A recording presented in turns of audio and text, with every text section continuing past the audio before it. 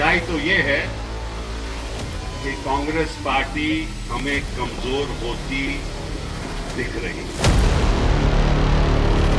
बहुत अरसा तक हमने उसको सफल लीडर बनाने के लिए प्रयास किया। लेकिन उनकी रुचि नहीं है वो एक जगह रुकते नहीं है, बैठते नहीं है।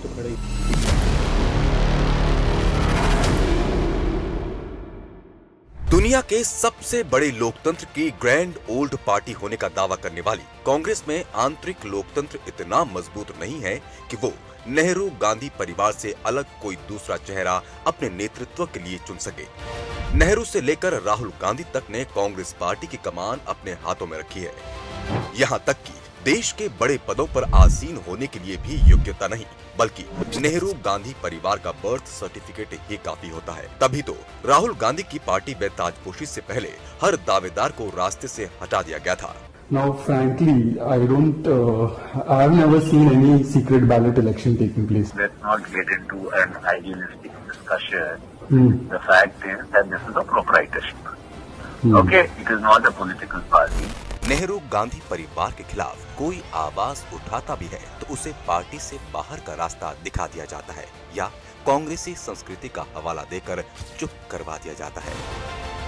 नेहरू गांधी परिवार के खिलाफ आवाज़ न उठाना ही कांग्रेस संस्कृति रही है। इस परिवार ने षड्यंत्रों का ऐसा मकर जाल बुन रखा है कि सब इसमें फंसते चले जाते हैं। भारत के पहले प्रधानमंत्री पद के लिए कांग्रेस पार्टी और देश की भी पहली पसंद सरदार वल्लभ भाई पटेल थे। लेकिन चालाक नेहरू ने अपनी चमक दमक और षड्यंत्र से सरदार पटेल को पीछे हटने के लिए मजबूर कर दिया था। इसी तरह शास्त्री जी की मृत्यु के बाद जब प्रधानमंत्री पद के लिए मोरारजी देसाई, गुलजारी लाल नंदा और के कामराज के नाम सबसे आगे थे, लेकिन बाजी मार ले गई थी नेहरू की बेटी इंदिरा गांधी। योग्यता पर परिवार को तवज्जो देने की कीमत भी देश ने खूब चुकाई है। नेहरू की गलत नीतियों से उन्नीस सौ बासठ में चीन से युद्ध भी देश को झेलना पड़ा था। इंदिरा गांधी ने जहाँ देश पर जबरन इमरजेंसी थोपी थी तो वहीं इंदिरा गांधी की हत्या के बाद हज़ारों सिखों का कत्लेआम होता रहा। और भारत के तत्कालीन प्रधानमंत्री राजीव गांधी हाथ पर हाथ धरे बैठे रहे। इतना ही नहीं, इन दंगों में मारे गए लोगों के परिजनों से माफ़ी मांगने के बजाय अजीब बयान देते नज़र आए।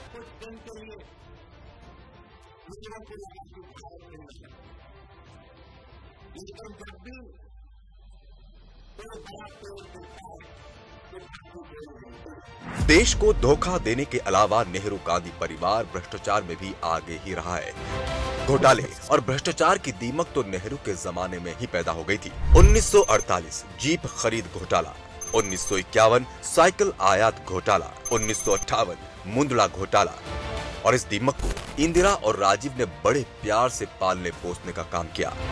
1973 मारुति घोटाला 1976 कुओ ऑयल डी, उन्नीस सौ इक्यासी, अंतुले ट्रस्ट, सीमेंट घोटाला, उन्नीस एच डी डब्ल्यू दलाली, उन्नीस सौ सतासी, बोफोर्स घोटाला। सोनिया और राहुल को राजनीति के साथ साथ घोटाले करने का लाइसेंस भी विरासत में ही मिला था। माँ बेटे, नेशनल हेराल्ड भ्रष्टाचार मामले में जमानत पर फ़िलहाल बाहर है। सोनिया गांधी ने तो भ्रष्टाचार का लाइसेंस गांधी परिवार के दामाद रॉबर्ट वाड्रा को भी जारी करवा दिया था।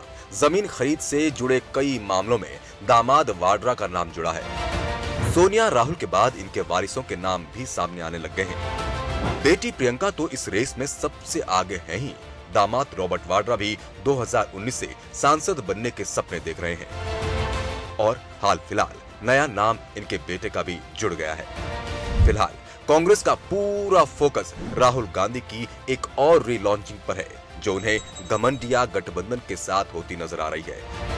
आखिर, राहुल के लिए भ्रष्टाचारियों और परिवारवादियों के गठबंधन से बढ़िया मंच और कोई हो भी नहीं सकता।